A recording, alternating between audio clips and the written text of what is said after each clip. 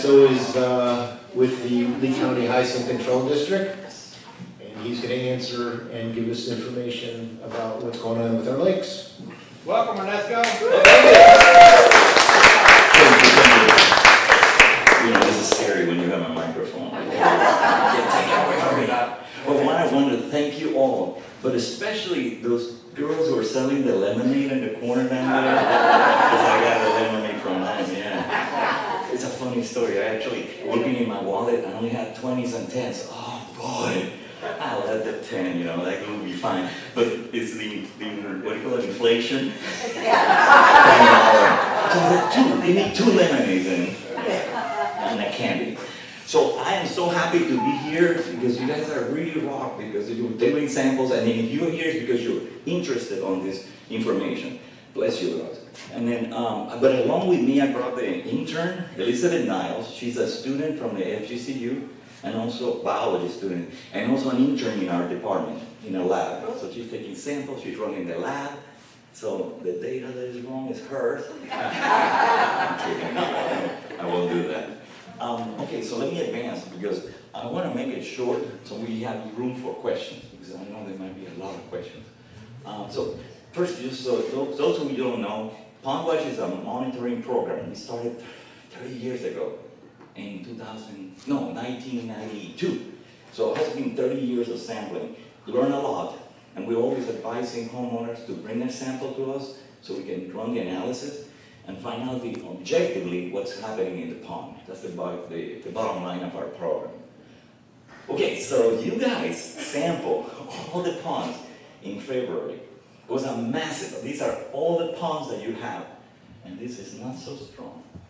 But anyway, you see the pond ID, uh, from 1 to 27, but 27 is not a pond.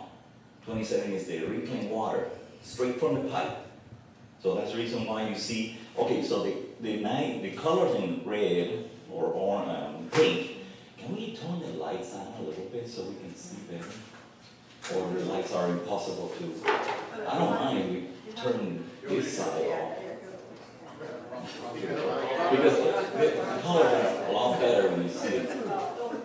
No, okay. So the colors, pink indicates that are out of range. Okay, let me start with indicating, oh, perfect. The top is the each parameter that we take analysis. Um, the phosphorus, total phosphorus to orthophosphorus. The differences between those two is that total is everything. Ortho is the free available phosphorus swimming in the water. When I say total phosphorus, I'm talking bacteria, algae, particles of things. So ortho, the OP, that's only the free swimming. Now you have both of them as you see, and when I say pink, it's because they exceed the maximum that is, I notice in ponds, when you go above that, I will flag and says you have more than most stormwater ponds in Southwest Florida. Hmm. Point one is what I consider the limit, and we'll talk about that a little later. The other parameters, nitrates, NOx, ammonia, and then total nitrogen. So nitrogen is another element that we do analysis, but I separate them by nitrates and ammonia because ammonia will tell me if you have a fish kill. The nitrates will tell me if you have fertilizers. So those are the reasons why I do that separation. And the total nitrogen is the, the sum of both these two and then total nitrogen. Chlorophyll is the pigment in the algae. If you extract the algae in a filter, and you extract it with acetone and you can tell how much algae is in 100 milliliters that we sample. So this number will tell me how much algae is there. The ones in pink, they're extremely high. I got that line is in 40. If you go above 40, you get a pink little square there. So chlorophyll, and the last one is the salinity. Salinity, why? Because we have a huge hurricane, you remember something, a hurricane actually. So a big storm, Zorge came over and flooded a lot of places. Well, you were not affected. All these salinities are less than one, meaning that it's freshwater. So the ponds are freshwater at this point. And this is in February. Okay, and here are all your ponds, and you know them by numbers, and I the same over here. Now, I put something in graphics because you can probably see better in the graphics, like who is above, who's, so the ponds are nine all the way to 26. Again, this big building here that you see at the very end, that's the reclaimed water.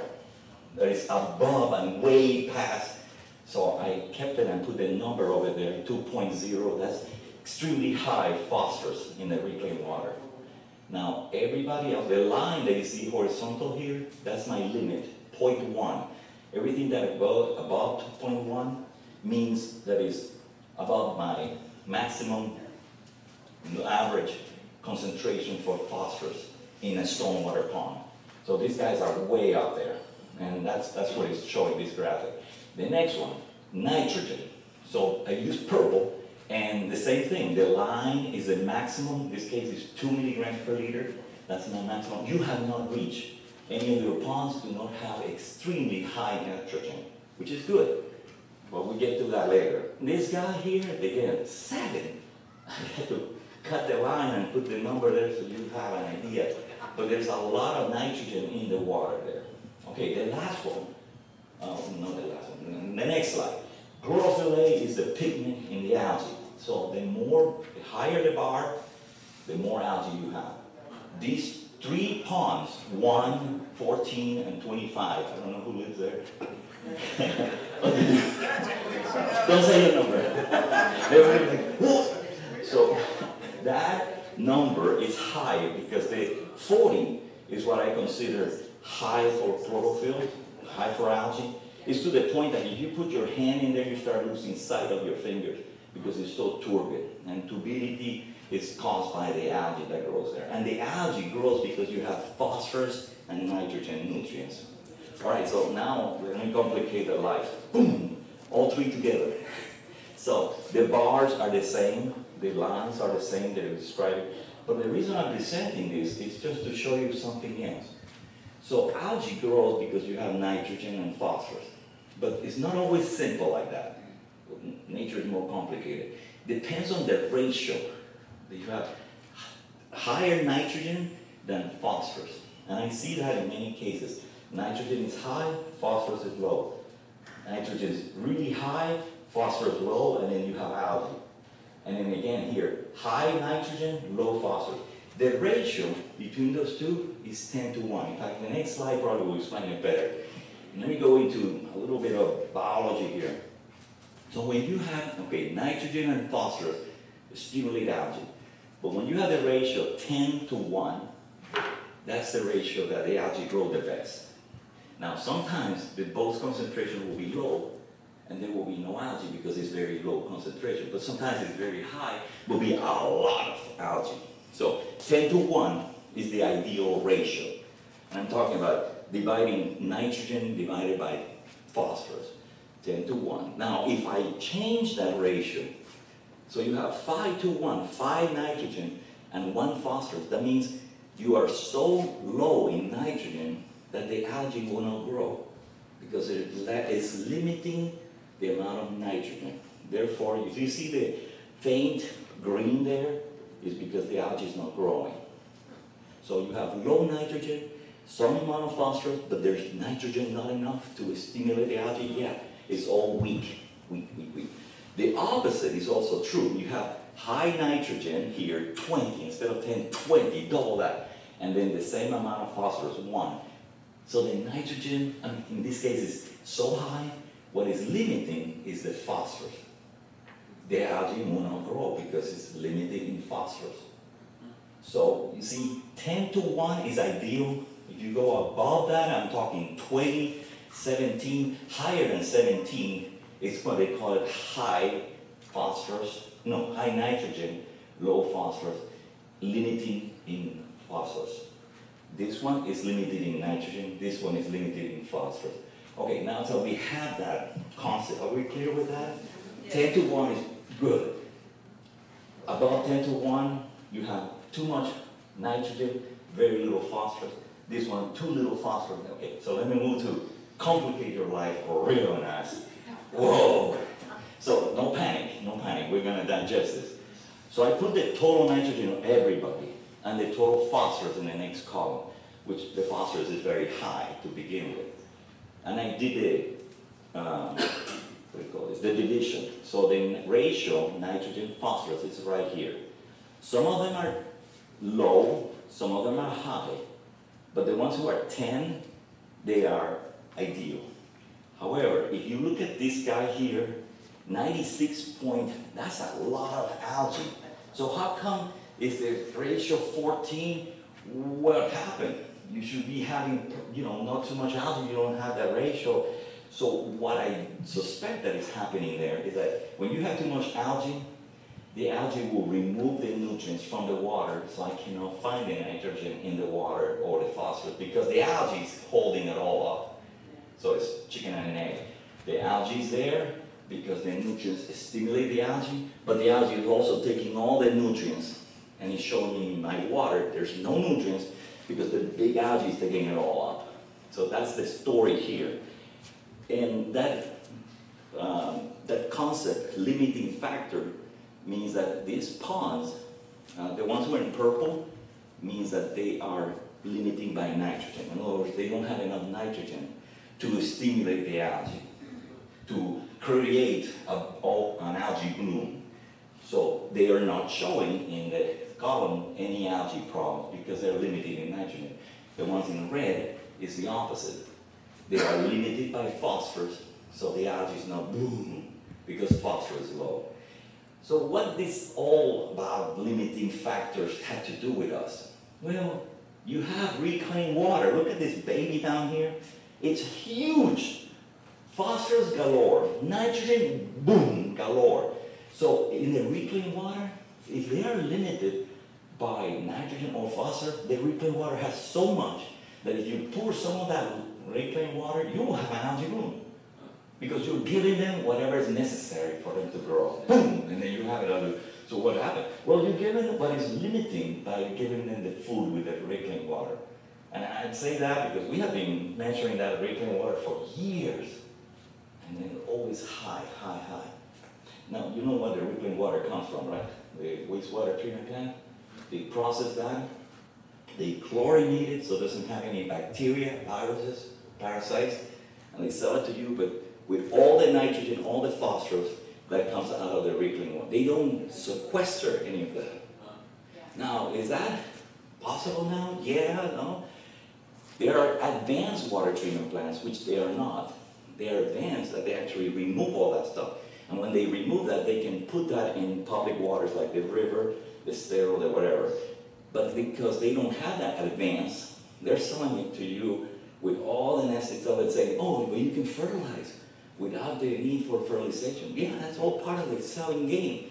Uh, but then it's overdone. Giving you a lot of, more than what you need.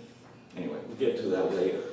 Um, uh, the, so the last three years I put this because we have all the ponds and I've been, I highlighted here these four guys because your input on those ponds, nitrogen, phosphorus, algae, is affecting not just your community, but this is the canal, McDonald, McDonald, what is the name of it? MacD, I call it because I cannot pronounce it, McDonald.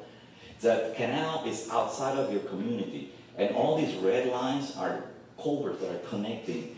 Your pond overflows to this canal.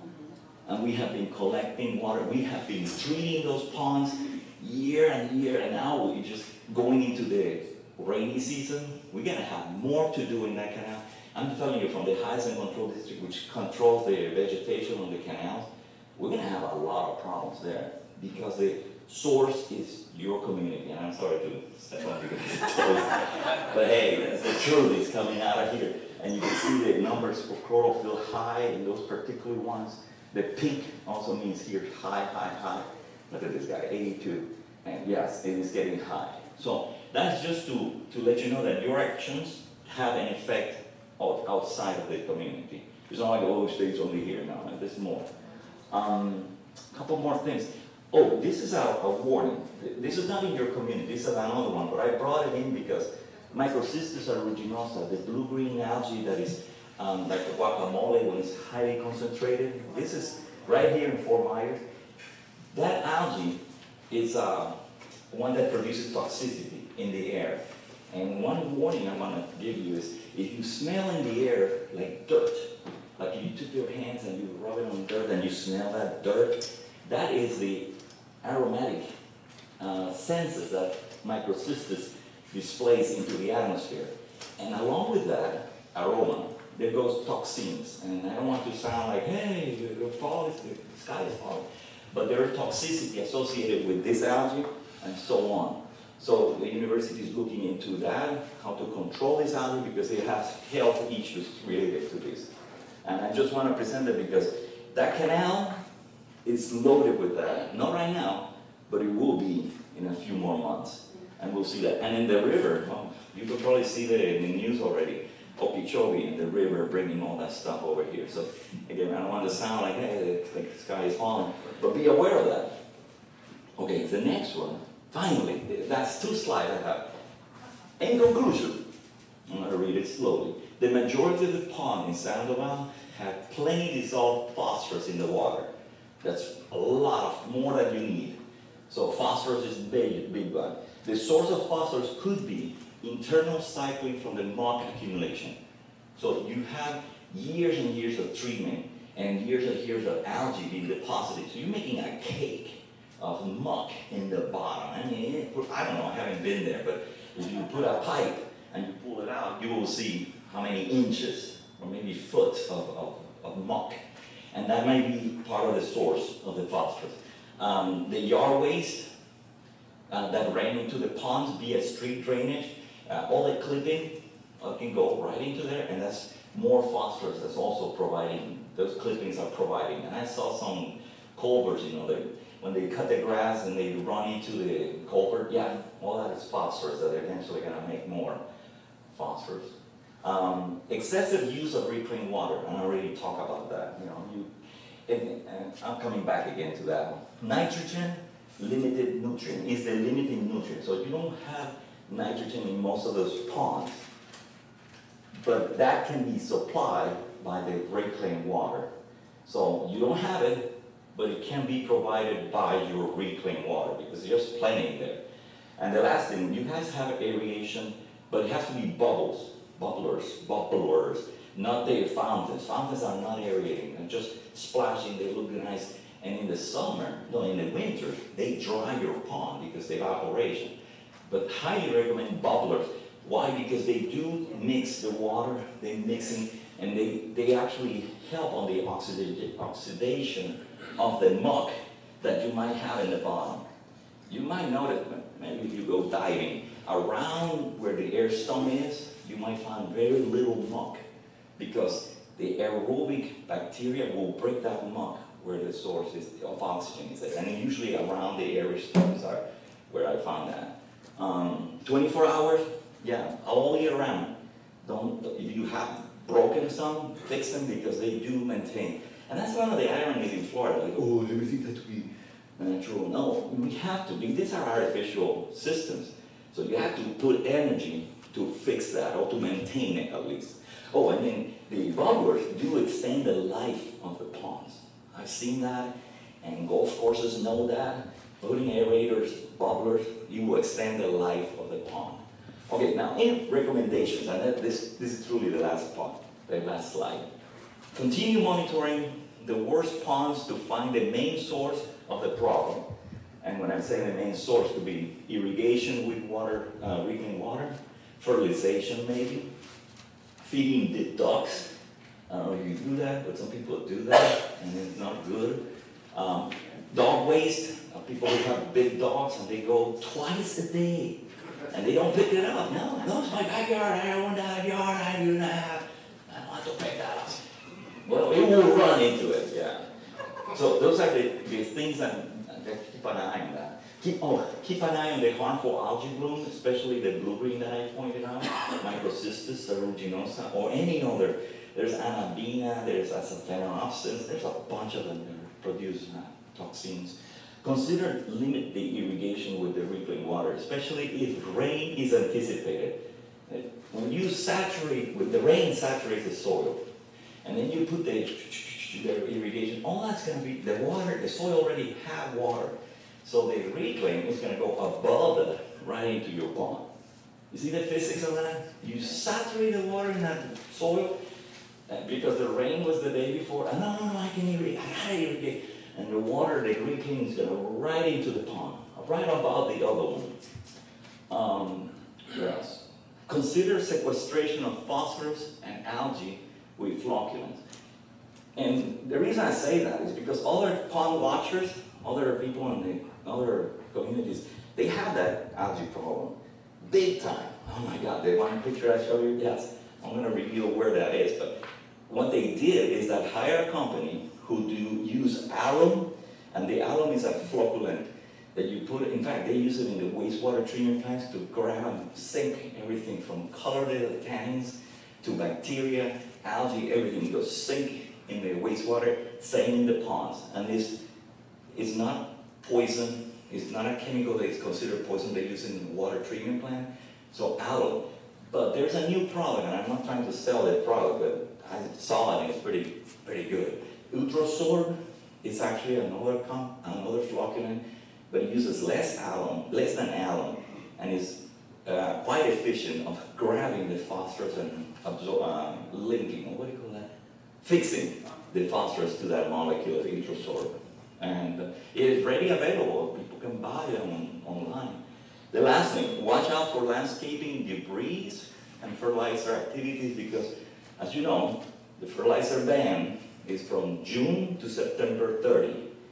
Well, I've done this also testing, that outside of that ban, the fertilizer companies come and, before June, they would fertilize the heck, oh, because the plants have to eat. So they fertilize the heck out of it. And that's not so bad on the, in June, before June. The bad one is in October, because then you come, and October is still rain. So, oh no, no, but you need to put all the fertilizer that you didn't put throughout the whole year, you put it in one sitting, boom, and it comes up big rain and washes it into it. Like, Oh my God, you just fertilize our pond for, for a whole year in one day when it rain. So keep an eye on that. Talk to the fertilizer company. Tell them, listen, slow release, certain amount, and outside of the vent. And then when you have rain, do not fertilize it before. Now, how to predict that rain? Watch the weather, man.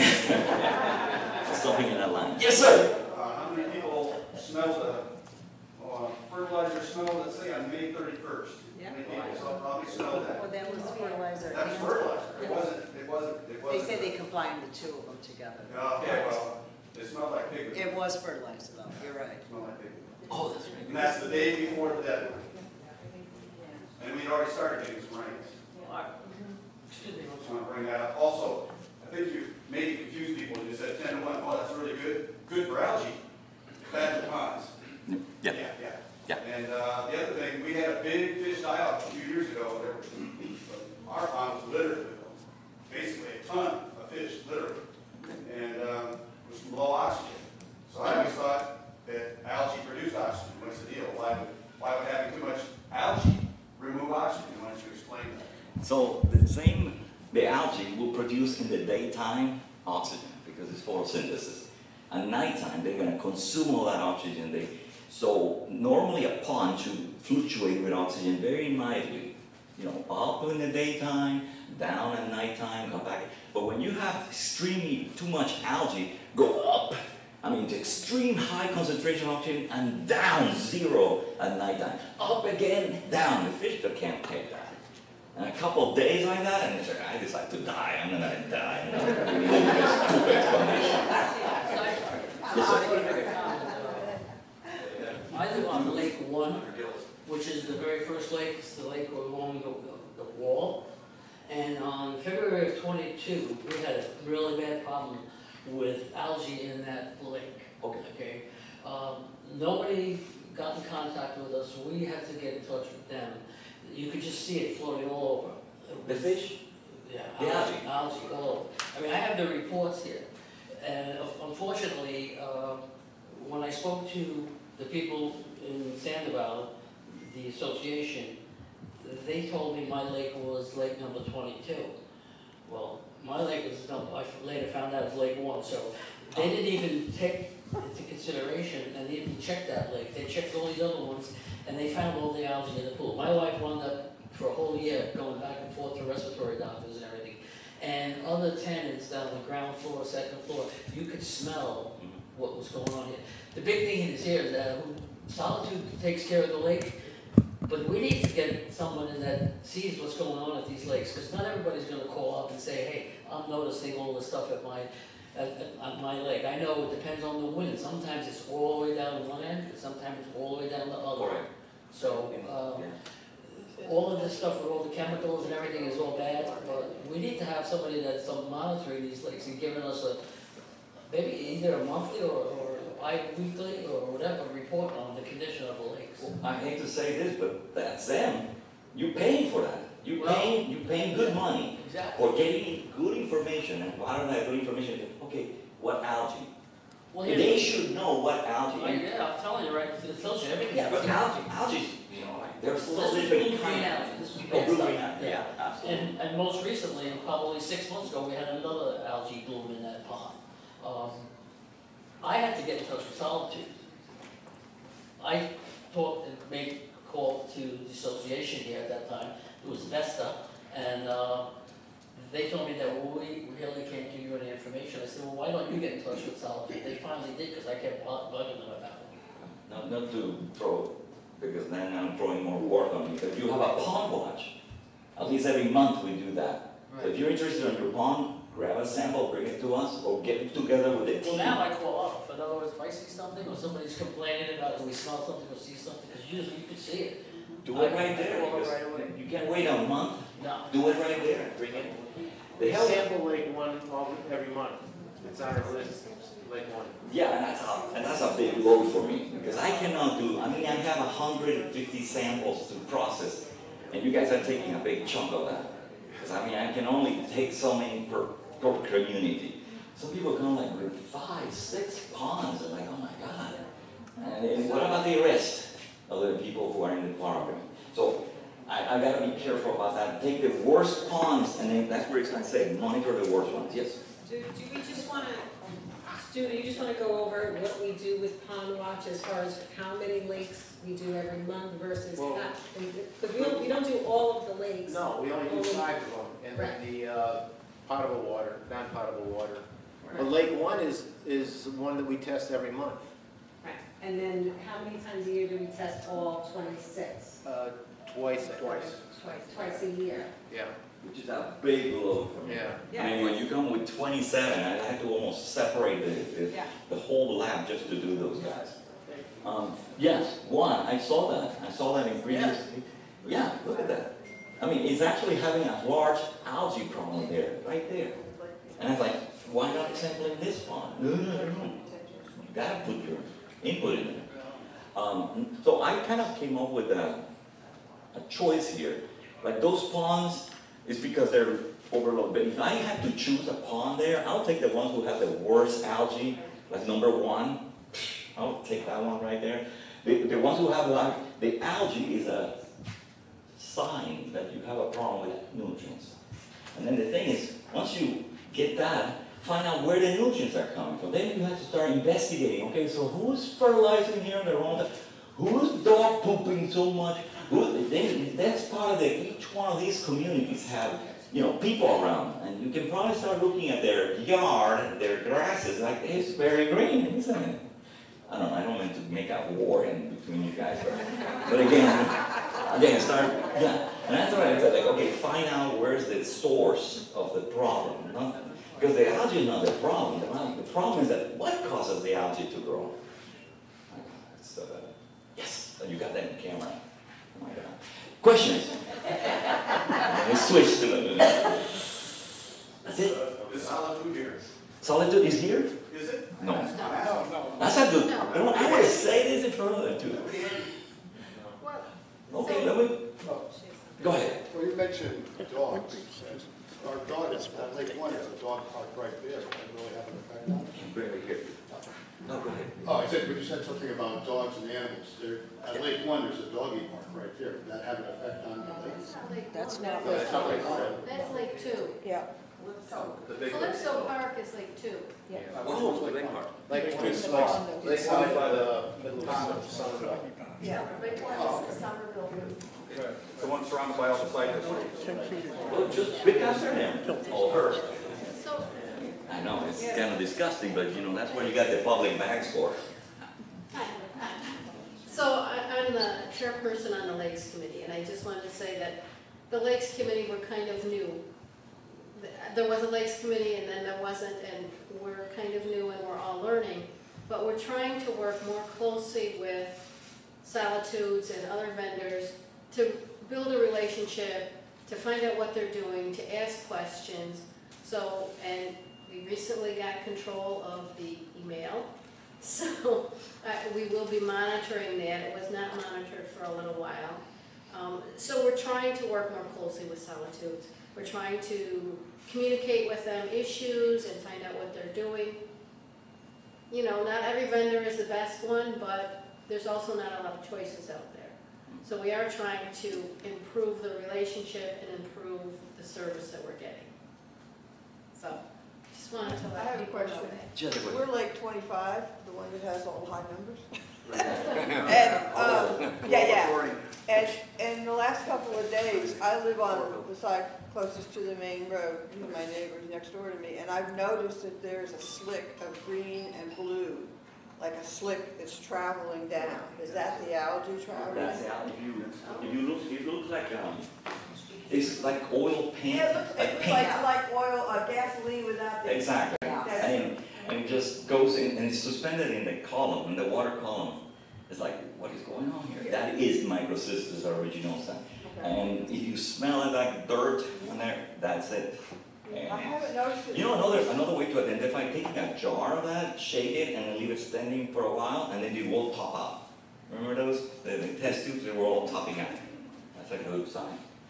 Yes, sir. Yeah, so, so I've seen that same film on the water at times, and it, and sometimes it is, it is, correct, it could be the cop, the copper that they use to treat the filamentous algae.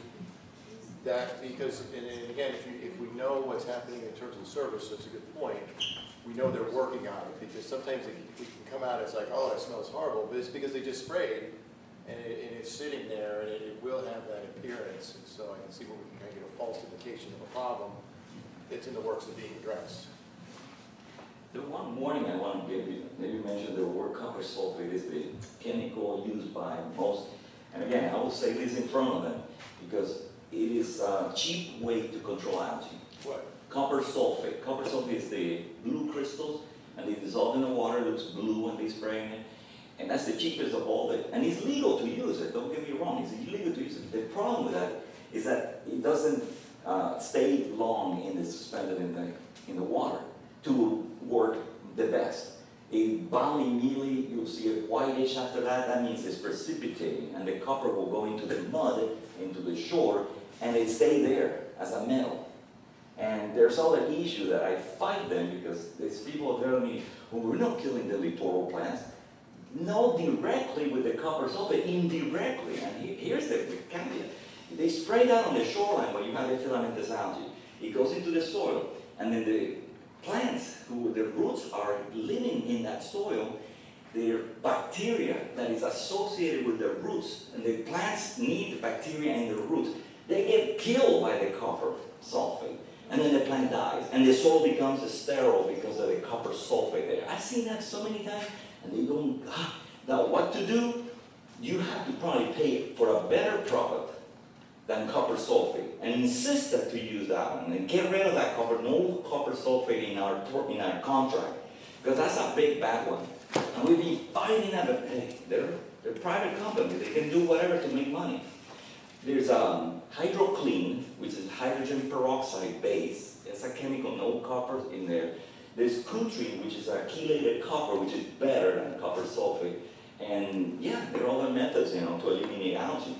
The alum and EutroSORB. And don't go with the dye. Have you ever seen the dye? They put a blue dye like to, to shade the ponds so they don't have algae or. It looks so artificially ugly. Like blue, like a blue lagoon. It's not even blue, green, it's ugly. Yes, sir. What's the life expectancy for this pond? Say that louder. What's the life expectancy of these ponds? Twenty-something years, twenty-five years, they say, the water management, I read somewhere in there, that after that you have to dredge it, nah. Not necessarily, They- the aerator will stop that dredging from happening, because you're mixing, you're eliminating the muck, and you're controlling that. So the aeration is what is gonna extend the life to, yeah, years, and thirty years easily, yeah. Yeah. How important is it to have plants in, on the ponds, the littorals and the Yes. plants? So the littorals are plants that are on the shoreline. Mm-hmm. And normally nature will have them, but some people don't like it because that's where the gator lives and blah, blah, blah. So, but then that's nature right there. And the plants itself are not pulling the nutrients from the water. What is pulling the nutrients, if you look at the plant cluster, there is filamentous algae, the scum, but you don't see the scum because you're looking at the flower plants and the plants. But the scum is there, and the scum is what removes the nutrients. By the way, the birds and the fish love the scum. You might not like it, but they love it. Birds come and they start eating the bugs that live in that scum. And the scum is filamentous. That's a good algae. That's not the poison, by the way. Filamentous algae, although if you get out of control and it's covering the whole pond, absolutely treat it, you know, rake it or do something. Because it's too much. Too much is bad. But if you have a nice balanced littoral plants, I'm talking plants that are standing on the water and the leaf are outside, you know, and the flower. Yeah. There's a whole, whole list, which by the way, I want to bring something else. But you have a question, but yes. So I was just gonna ask, you talked about plants that are good. Can you speak a little bit about the ones that aren't, are not good, like the alligator weed and the invasive and the problems that it causes if it's not, if it's left untreated? Yes, in fact, there's a lot of bad um, littoral plants, not bad, I should say, plants are not bad or good, they're just plants. But they overtake, like torpedo grass. And the companies know that, and they spray it. And then there's torpedo grass, there's alligator weed, and I can present to you a website that we have created, the Hyacinth and other professionals in Lee County. It's called Web Plan, and we have a lot of videos and a lot of webs, webinars explaining some of these things. In fact, I- Webplan.org, isn't? Yeah, that org, correct. For those of you who haven't been there, We have that on our web- website, a link to that. oh, you haven't? Yes, on our website. All right, well, let me, let me present this to you because this is the web plan right there. And these are a bunch of videos in that resource. The one I want to present to you is this one, it says, uh, no, beneficial littorals, that's good. There's another one that is about plecostomus. Oh, yeah, same lady here, lesser heart. You mentioned that you have a problem with plecostomus. Yes. Plecostomus is a, yeah, in fact, I wonder if this video runs. But again, I don't wanna take it, and I don't even know if the sound will be good. Dealing with plecos. Ah, I guess we crashed the system. Anyway, you can find it there, and she talks about what, yes. Oh, did I step on it? Oh, it was on.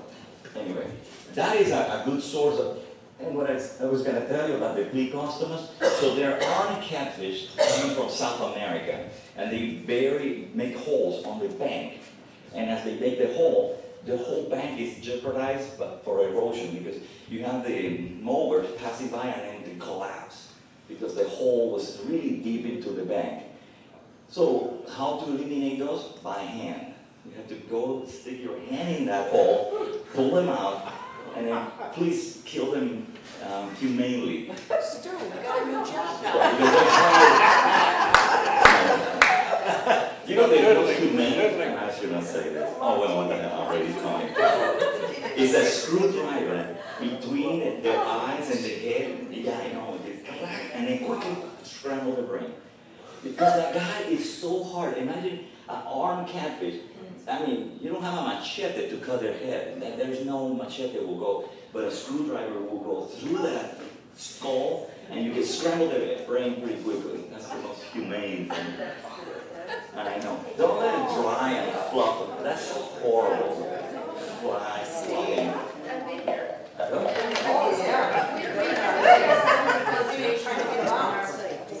We have, you have it tilapia here, yes. Yeah. So, Oh, no, we're not into that, that's- they're, they're horrible and they will reproduce, oh, that's the, the gear.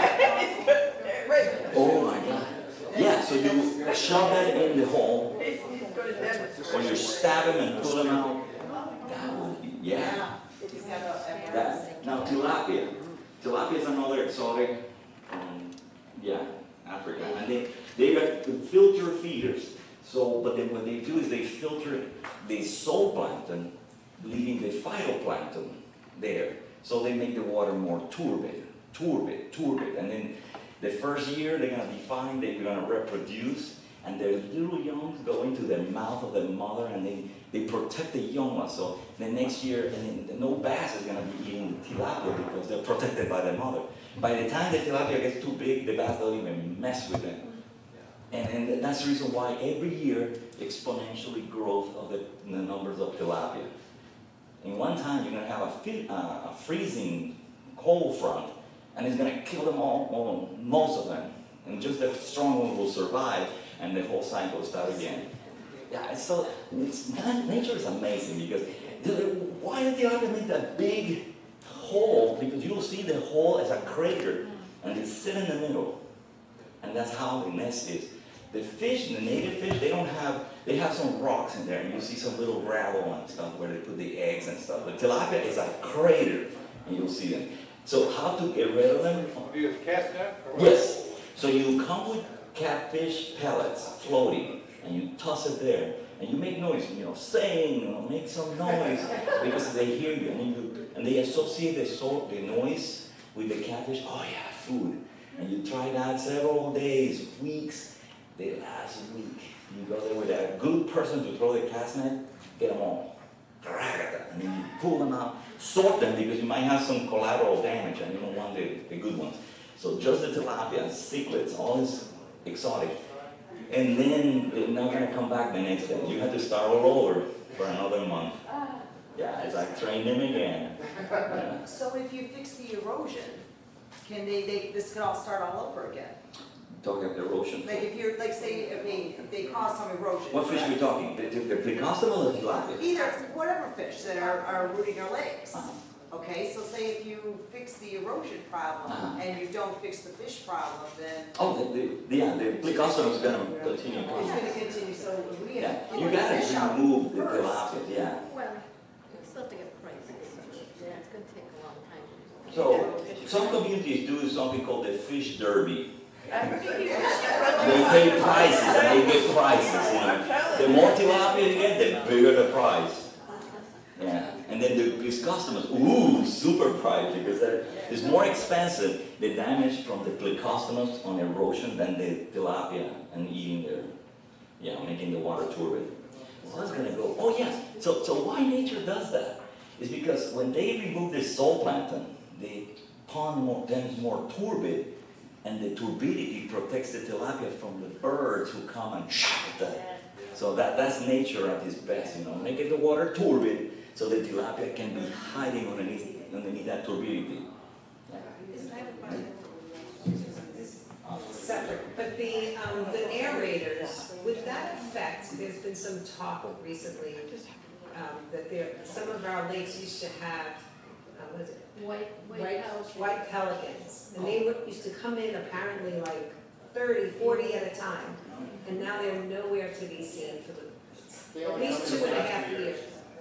That's a And I don't know, someone suggested that maybe the aerators, when they installed them, that that may have had something to do with it, what's your That is a very difficult question. I'm not a bird person, but if somebody's from an Audubon bird watcher, they will probably know that better than I do. Do you know Yes. So, so I would think that anytime that there's wildlife, it's all, it's all about the food. So, so Yeah. it would be based on food availability, which, which could be connected to other things that, that are going on in the ecosystem. And when we put the aeration in, um, that improved the oxygen levels throughout the water column, so we created more space for life to exist. And it, and it, like, like Ernesto said, I mean, nature's amazing, it goes through changes, you know, so we, we, throughout time, we've seen these shifts in biodiversity. When the snails came here, the apple snails, Mm. um, it started eating our plants. It was within a matter of a few years that the the limpkins, the birds came in and, and they, they're very good. And, and I was so happy the day I saw a whole family of them that were marching around behind my house. And I know they're that bird that makes that scream, but. But, but it's a good thing, It's you a- know, that it's a bad thing came and then a good thing came and it helped. So yeah, I think it's just such a dynamic, Yeah. uh, it's just, it- it's amazing. You're absolutely, you're on the right track, because food brings other animals, and that, that, the story with the apple snail, that was a great one, because the birds kind of, uh, the ones who learn how to eat them, they survive, and they have that already know how to. The ones who didn't know how to open it up, yeah, they die, it's like, okay, smart ones will go on, not to be mean to the birds. On the pelicans, Yes. the the year after we installed the aerators, we did have pelicans. And then the last two years, I haven't seen any. But we did have them the first year after we had the aerators installed, so. It didn't keep them away that year. I see, them. I mean, I'm not in the matter of shape pass a lot, and so I, I do see the spiraling circles of white pelicans. So we know they're migrating here, but I think just as people got displaced by the hurricane, so did wildlife. And Yeah, I- I've even seen additional things here that we hadn't seen before, almost immediately, you know, pairs of owls, you know, great horned owls, uh, hawks, you know, showing up as pairs because, you know, they lost their home. So a lot of things have been pushed in, and, you know, you could assume everything west of here is in much All more the shape. habitat was destroyed. I see pictures on uh, the Lee County Appraiser, which by the way, that's the, every year they take a nice high resolution picture of the whole county.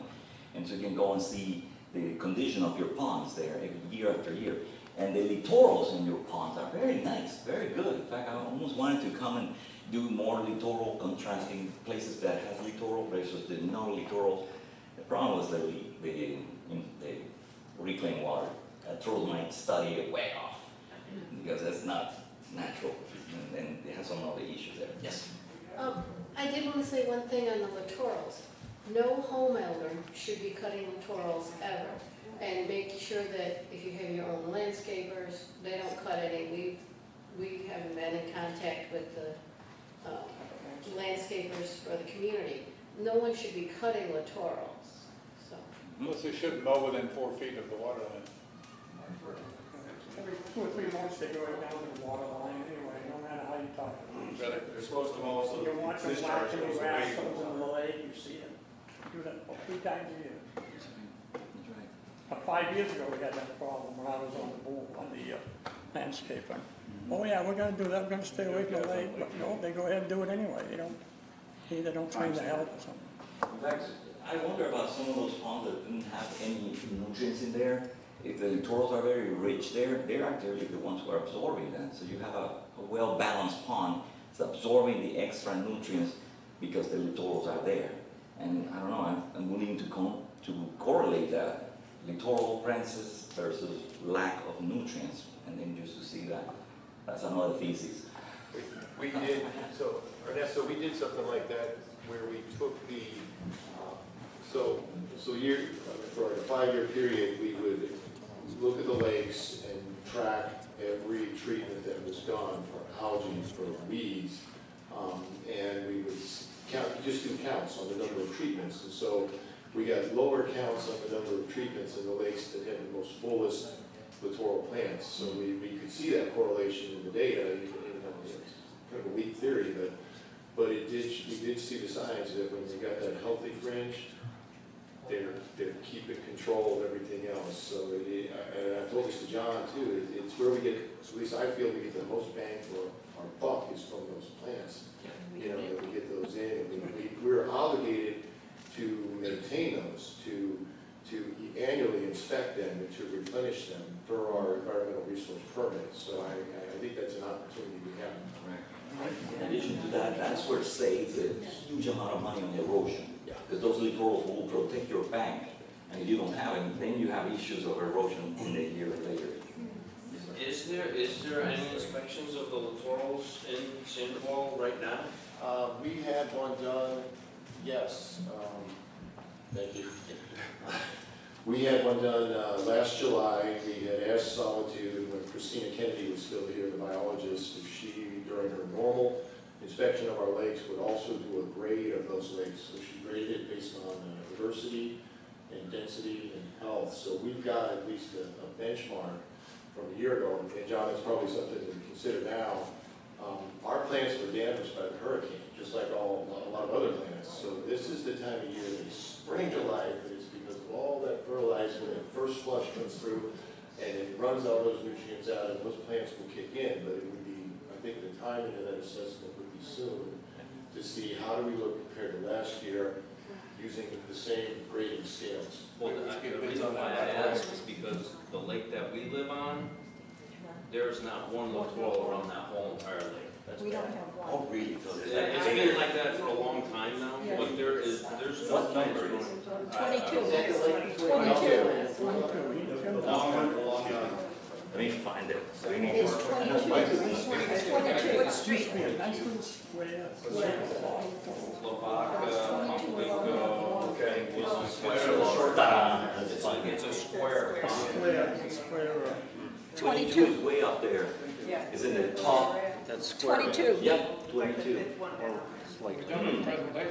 Okay, we think It's that's, been like that for We're a wrong long again. time, there's no, there's no plants along the edge, and it's, it's literally caving in. I mean, all Oh, around. God, yeah. And this, I recall that lake when we used to make those walk-arounds, it had um, monoculture of spikerush.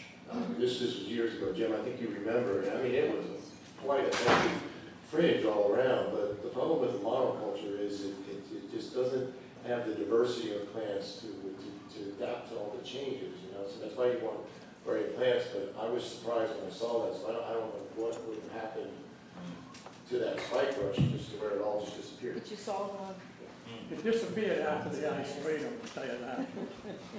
That's, that's great. One thing we're asking our, our Lakes Committee to do is put a plan together for, for erosion control, a a lot for the fiscal, for next fiscal year.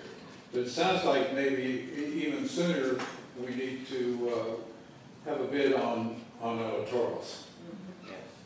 What do you think? We, we could do some of that this year, even if we have to go extra round. What do you think, Chuck? Yeah, Yeah. so let's, let, let's do that. Yes. Okay, so we have asked both Solitudes and the lake doctor to look at the erosion issue and give us a quote, and to look at where there are littorals, that we need more littorals, and give us a quote for that. We are not getting any response back from either I know. vendor. I'm just thinking though, if we look at priorities, maybe we should put the littorals first. Yes, I, I Well, agree with you. Yes, but we've asked for both, so we know what we're looking at, and we don't wanna do a plan for one year. We Of course wanna- not. We wanna do a- an ongoing plan for the next five years and going forward, what's the regular things we need to be doing? So we're working on that. Yeah. I know. Sounds great. Yeah, another, oh, yes. What- What about the irrigation that we see going into the lakes? The irrigation that you see going. The the sprinklers? Oh, the That would account for phosphorus. Is that, water. The the So- the water? irrigation, Well, yeah, control that one. Make sure it doesn't go into the water, it stays off the water. And, and Okay, so then, okay. Go ahead. So we, we contacted everyone from the neighborhood wa, neighborhood, uh, the neighborhood reps, and had them, because some lakes have, seem to have a more serious problem than others. And we ask them to notify everyone in that area that, to make, number one, to check or have your landscaper check that your sprinkler heads are not going in directly into the water or directly into the street and through the storm sewer. We also, um, have, you know, kind, we've gone through the landscape committee to make sure they've talked to both landscape companies about that as well. And we ask that people not overwater. I mean, people go out and put their own program in. Some people are still watering every night. I see it. And it's like, stop. We, that's what's ruining the lakes. I mean, that's a, a big problem for our lakes. Um, I, I don't know how to make people do that. We've tried con, you know, we're trying to get information out there. And if you notice that your sprinkler are going into the water, then you have to contact the right person to make those Yeah. adjustments, so that Yes. they're not going Yes, into the water. and we, we explained that, that's, if you're, if you're, you know, in phase three, put a work order in and they should adjust that. Do you all remember Steve Putman? Steve Putman was uh, very, Yeah. yeah, he started his, uh, in connection with us, Pond Watch and and Sandoval. And he was thinking to propose um, a study or something where a whole lake will not be using at all irrigation or, yeah, and then leave the grass the way it is, and to see how much different it looks versus the one that are constantly using irrigation, just to, to do a comparison. But I don't think he convinced everybody in his lake to do that. It's so hard and he almost give up, give up on that. So I, I understand that. Um, yes, I have a question. The, the bug spray that gets sprayed over our community to get rid of the mosquitoes, does that hurt the lakes? the mosquito The spray. Yeah, the spray mosquito. Well, I won't say no, but yes, uh, they do it at nighttime, and they try not to. Okay, so the, the, the chemicals that they're using for mosquito control, it's actually targeting the, the animals, the uh, mosquitoes. They use less concentration that you can probably imagine with, by using the spotting, um, not the, planes, I'm talking just the, uh, as far as going into the water, the organo molecules there, won't last that long. They do to break down even with the sunlight, so they don't have a long lasting. I tell you, things have changed a lot since we started in the 60s with mosquito control. Now we're using less chemicals than you can imagine. We don't use so many. Now we're using other alternatives, like BTI is a bacteria, and we're using many type of bacteria. Mosquito fish, we have now putting mosquito fish in many ponds just to do the biological control of that. Same with the bacteria. So the amount of chemicals that most people think, oh, mosquito control. Oh, and they sterilize mosquitoes. We're also coming into that. Little by little, we're expanding that program all over the county. They fought that the Keys. Yeah. Successfully, they fought. Yeah, and in Sanibel and Captiva, it's successful there. But not for all mosquitoes though. I mean, we're not trying to get rid of all, just the ones who carry diseases. You might still have another one who's a native, no disease carrier. Oh, you know, just, it's just the ones who carry diseases, the ones who care. We care. Wow. Six o'clock has been wonderful. One hour. You still have any questions, we can just break off in small groups and. No, no, I'll stay here, and if you have more questions, because it, sometimes it's intimidating, you know. But then I'll be here to answer some questions, but I really thank you all for being here. You guys are really taking care of your, your community by being and listening to. Pass the word, oh, thank you.